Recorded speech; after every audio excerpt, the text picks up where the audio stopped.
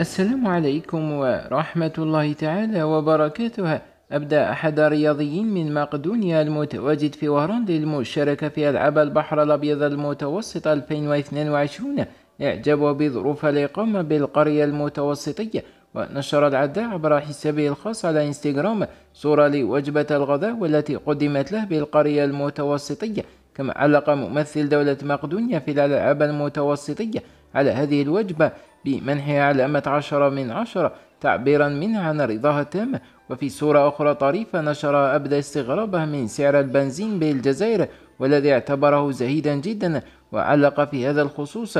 معلومة اليوم مقابل واحد يورو يمكنك شراء ستة لتر من البنزين في الجزائر وتهاطلت التعليقات والإعجابات من الجزائريين والجزائريات على صفحة هذا الرياضي.